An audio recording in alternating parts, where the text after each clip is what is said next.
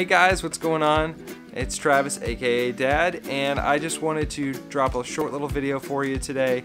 Um, it's very informal, but it's a situation that just happened to me this morning, and I just really felt God tugging on my heart to share this with you.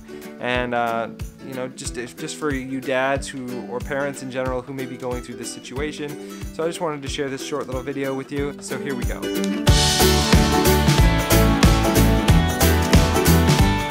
Salutations, my friends, and welcome back. How we all doing today? It's Friday.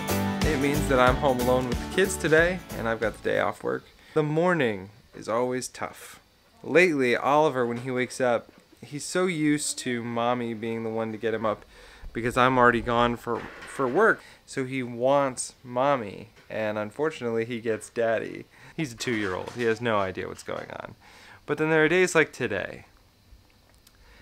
And today, it kind of just struck me differently and it's it's hard. It's hard because you love your kids so much and you want them to love you and you know how much you do for them and just you want to give them the world. And on days like this, I'm waking up early, I'm trying to make him breakfast and I'm being greeted with slapped in the face and saying mean things.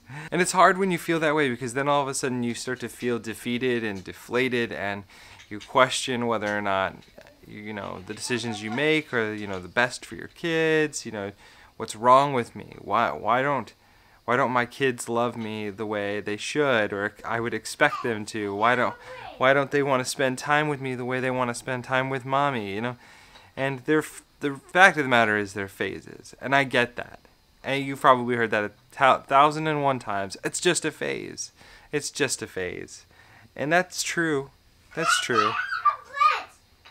Even though it's a phase, that doesn't make it any easier now. Because we're going through it now. It's affecting us now. So, what do we do in those situations when we're feeling defeated, when we're sad? Maybe more importantly, when we're frustrated, right? The verse I read this morning was Proverbs 12 22. So if you have your Bibles, you can jump into it, or I'm going to throw it up on the screen right here or down here. I don't really know. The Lord detests lying lips, but he delights in people who are trustworthy. So what that verse is speaking to me is that I think about what what am I praying about? What am I really saying in my prayer? And God may know my situation and he may know all things about me inside and out.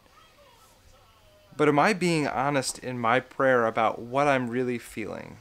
He may already know, but am I being truthful and upfront about how I'm feeling and what my circumstances are actually doing in my life? Or am I giving this half hearted, generic prayer that isn't truly from my heart and what, what I'm going through?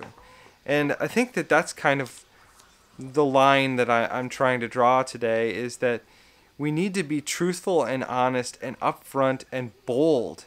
And sometimes that means the rated R prayer. The the prayer that you know you wouldn't say out loud probably in front of everybody at church, but it is an honest and truthful depiction of what you're going through and the heartbreak and the sorrow and the frustration and all the things that are coming along with your emotions and letting God work through that with you instead of trying to hide it and just be generic or you know taking it and you know not really dealing with it with God but instead trying to just go off and deal by, with it by yourself.